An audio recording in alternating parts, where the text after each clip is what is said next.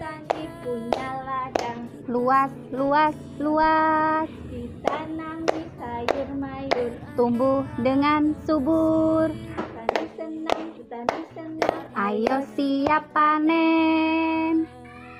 Assalamualaikum warahmatullahi wabarakatuh.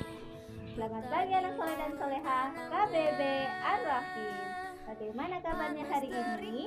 Semoga anak soleh soleha selalu sehat, ceria, dan tetap semangat. Oke anak soleh soleha, hari ini kita akan belajar mengenal petani sayur. Wah, kita akan mengenal petani sayur Apa itu petani sayur Ustazah Emma? Apa ya? Anak soleh soleha ada yang tahu apa itu petani sayur? Ya, petani sayur adalah petani yang khusus menanam, merawat, dan memanen tanaman sayur. Tanaman sayur yang ditanam ada berbagai macam Ustazah Yuli. Apa saja yang ditanamnya Ustazah Emma? Ada kangkung, Bayam, wortel, dan masih banyak lagi yang lainnya.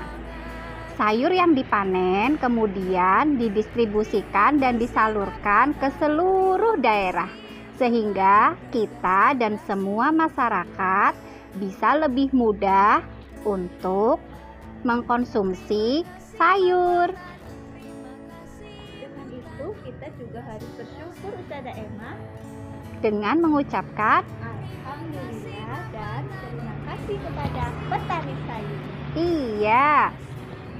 Yuk kita awali kegiatan hari ini dengan Membaca basmalah dan zikir pagi hari Untuk kegiatan tema petani sayur karunia Allah, kita awali dengan gerak dan lagu menanam jagung dengan membuka link. Dan kegiatan yang pertama melihat film Nusa dan Rara dengan membuka link.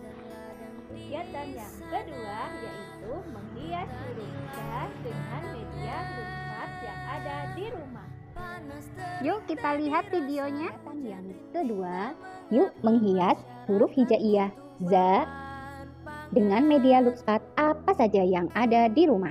Sebelum kegiatan, membaca basmalah. Bismillahirrohmanirrohim. Ustazah menggunakan lutspat, miniatur kupu-kupu, miniatur daun, manik-manik, dan roncean. Ayo kita mulai menghiasnya. Ustazah menghiasnya dari bagian bawah dulu.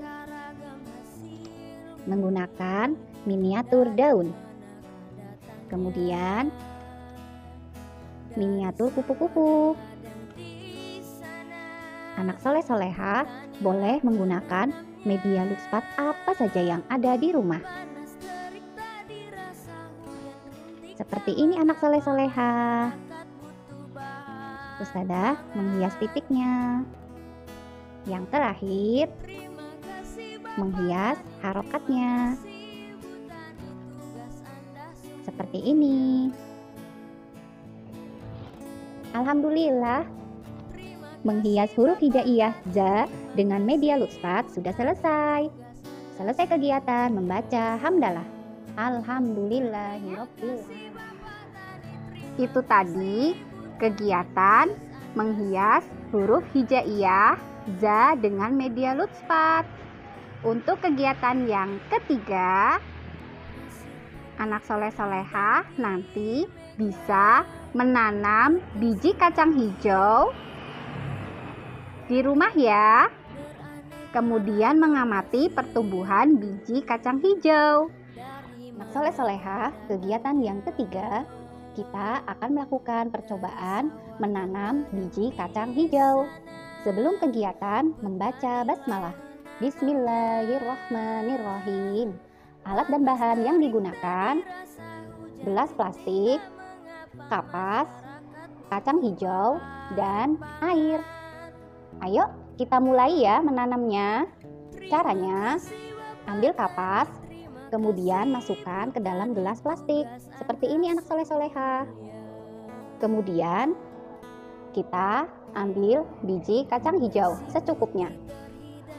Kita masukkan ke dalam gelas yang berisi kapas.